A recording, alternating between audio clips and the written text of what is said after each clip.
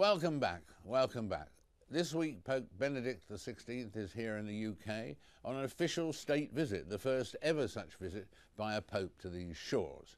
It comes at a hugely turbulent time for the Catholic Church. Not only has it been rocked by the global sex abuse scandals, it's also been accused by some in the Anglican Church here in Britain of trying to poach disaffected members. As an example, cynics point to the Pope's decision to celebrate while he's here the life of the 19th century Cardinal Newman, who himself crossed from the Anglicans to the Catholic Church. What a coincidence. Before the Pope landed, just before he landed, in fact, I spoke to the man who's organising the whole trip, the head of the Catholic Church in England and Wales, Archbishop Vincent Nichols. Your Grace, a very, a very warm welcome. Thank you very much indeed. Um, the, the Pope's visit, um, people who've been analysing the press coverage and so on in advance of the arrival of the Pope have said that 90%, 80% of it had seemed on balance negative, in fact. Would you say, if there's any truth in that, would you say that that is because of a British uh, godlessness or, in fact, more to do with the child abuse scandal? I think it's a puzzlement first because we're in a society that doesn't have clear bearings when it comes to religious belief. I think, in fact, the very basic message that Pope Benedict will bring, I believe, will be to invite us to look at faith in God not so much as a problem to be solved, but as a gift to be rediscovered. And I think in this country, for all sorts of reasons, faith is considered as a problem. And therefore, somebody who represents and stands for one of the world's major faiths is a, is a slightly problematic figure to begin with. And the fact for some people in this country that this is a state visit also raises questions. Why yes. is a religious leader coming here on a Why state Why is it visit? a state? It hasn't yeah, got any population yeah. and yeah, so on. That's right, that's right. So th there's a combination of things, and including, and this is important certainly in the media, the undoubted question marks and, and real challenge that is posed to the Catholic Church, to me and to every Catholic, that some priests have seriously committed grave offences against children, which is a terrible, terrible thing. First of all, for those who've been abused and also for for the church. But we're facing that, and we we How work you- on how- that. Yes, it's it's it's a huge problem. But you you read through and and uh, you see the things about repeated cover-ups and so on. I'm just looking at quotes here surrounding priests who've abused children, allegations of abuse not reported by the church, and your own your own saying that in fact people people some Catholics seem to think it was more important to suppress the news than than get the message out to the police and so on. How do you fight that? How do you Well, improve that? I think in, in this country, in England, we have worked very hard over the last 10 years and we've had two independent inquiries into how we handle these things, both led by peers, experienced people of uh, public administration, and they've helped us to put in place proper procedures. Now, I think the fact is that child abuse is the most hidden crime of all. And victims, first of all, find it very difficult to get themselves believed. And this is not simply in the context of the Catholic Church, wherever. And so it's a real opening up of, of an area of betrayal that initially nobody wants to face. And that's the painful path that we've been walking. And I think honestly, and I think with integrity, and there is no holding back now, there is no cover up now.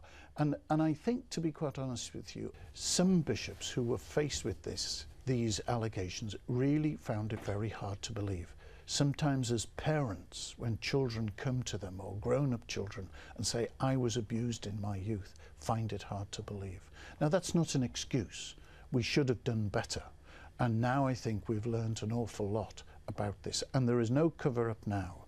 And in this country, where we have excellent relationships with public authorities, the social services, the police, we work together with them, not simply in the supervision of allegations, not simply in the work of safeguarding, but we also work with them and how do we best make sure that offenders who are released from prison are kept in a covenant of care and are kept safe. We work with the police and the social services positively in that way as well. And so that, uh, as you just say, that although it was a huge problem, that you think you've vanquished the cover-up mentality. Yes, I do. I think we've got over the cover-up mentality. We, the business of creating a, a context in which everybody is safe is a constant daily effort. And the kind of checks and the self-awareness that we need needs to become as instinctive as cleaning your teeth in the morning. Because if you don't do those things, your teeth begin to rot. Right. And it's, it, it's a constant, a constant habit of mind now that we're alert. And so, uh, if a bishop uh, today or next week or whatever discovers a case of child abuse involving a priest and so on, who does he who does he speak to first? To, to you or to his immediate superior or to the police? Well, do you know, in, quite honestly, in my experience, I'm not the first one to find out. What normally it comes to me from a route already that, that the person who's making this declaration or making this allegation, they don't normally come to the bishop first. They come to somebody who's closer to them. And in every parish in this country, we have a child protection officer, a safeguarding officer. Sometimes they're the first ones to be approached. What we would do is then I would get in touch with the officer in this diocese and he would liaise immediately with the police. And then it would be handled primarily by the police. They would inquire into the allegation and we would take it step by step from there. We've been talking about a problem that is an international problem, actually, haven't we? They talk oh. about South America, North America, Europe, and so Well, on. This uh, is a world problem for the Catholic Church. Well, if you don't mind me saying so, it's a world problem, full stop. And the Catholic Church has its part in that problem, but in fact, it's a minor part.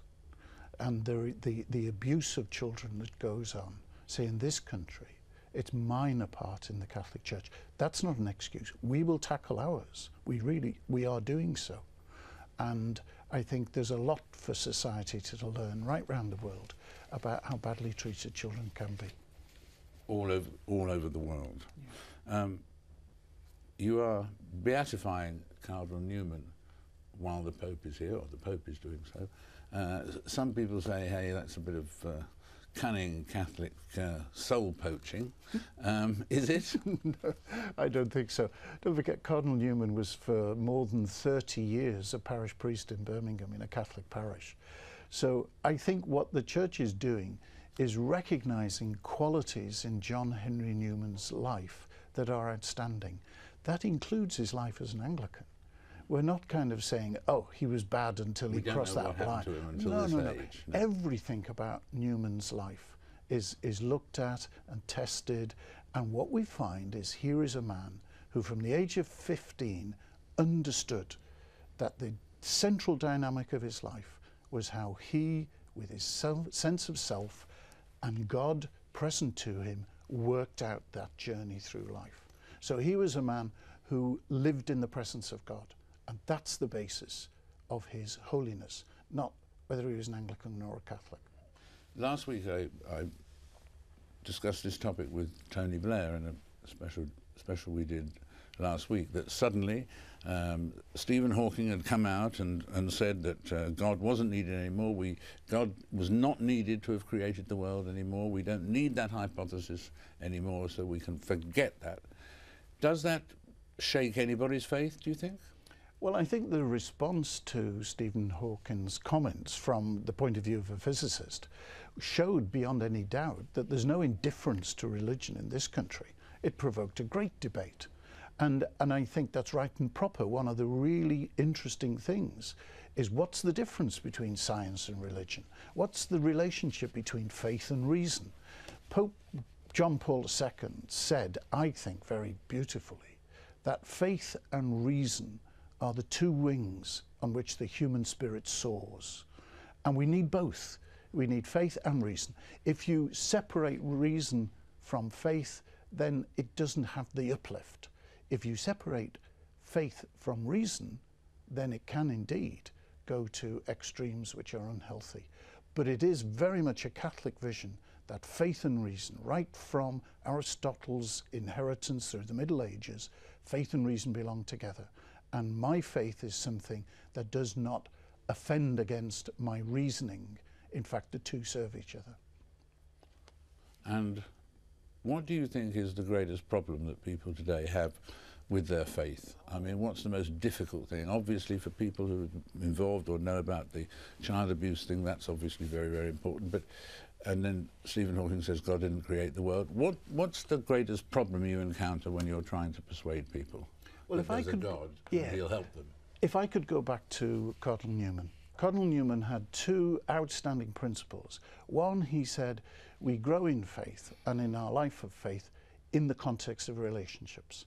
And secondly, he said, it's a matter of the heart, of the imagination. He was a great believer in the power of the, the kind of the mind to take a leap and to s- imagine things differently. And I think partly we've lost that courage of imagination, the kind of pragmatism, the positivism of the age that says everything must be measured and demonstrated.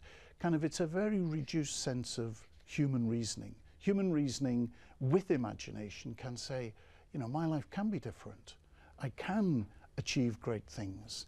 And when we begin to sense and allow space for God to work in our lives, then that can happen. Your Grace, thank you very much indeed. Thank you, David. Thank you.